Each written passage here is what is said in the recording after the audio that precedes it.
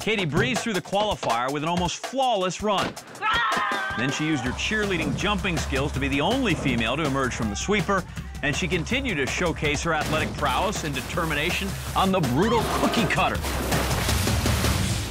Katie Mayfield at the top of Killer Surf and ready to go sledding. Like an Olympic wave there at the top of Killer Surf, and down she goes.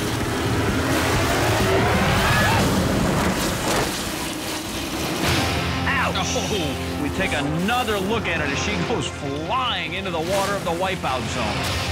That is so brutal on the entry, but she is quickly up and onto the triangles. See how she does. Wow, just racing across those triangles. It helps to be petite, and she, the triangles don't even move. She has such little weight as she goes across. But now she is at the spinner, which is clearly, from our first two contestants, the most difficult obstacle in the wipeout zone. The spinner is unforgiving, and Katie Mayfield makes her jump. Can she hang on?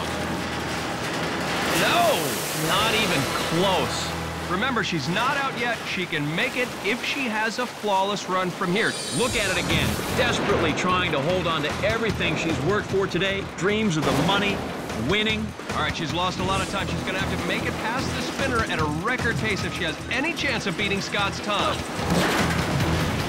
Now she's got to make her way to the next platform. Oh, wow. Oh, and she's unable to even make the jump.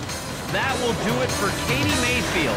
Katie Mayfield couldn't make the jump, but she seems to, she's going to continue to finish, John. She is determined to finish the course. She's been determined all day, whether it was through the qualifying rounds or through the sweeper and the cookie cutter.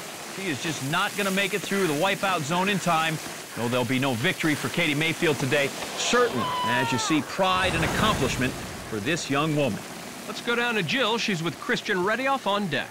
Okay, Christian, you're Mr. Extreme Sports now here. Does this fire you up? I'm pumped. It looks fun as hell. You are our final contestant. Do you think you can win this? I wouldn't be here if I didn't. Go do it. Yes, ma'am.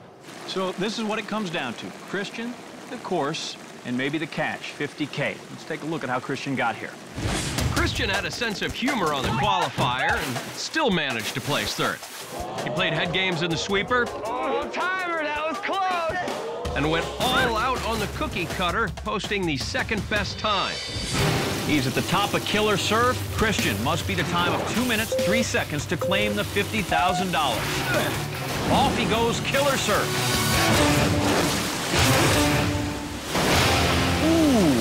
Look at him, arms and legs flailing, trying to get over to that huge ladder leading up to the triangle. Not a clean entry to be sure, right up the ladder. He's a really good swimmer, that He is. If anyone can, can, can beat my time, it's going to be him. Ladder climbing, that's a skill, don't underestimate that.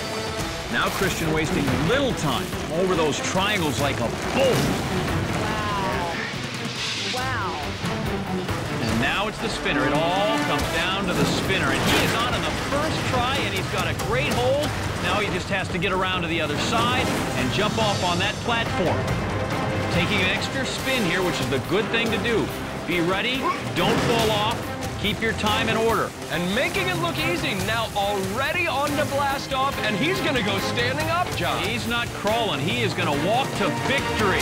Christian Redioff tremendous time, 55 seconds ladies and gentlemen, our Wipeout champion.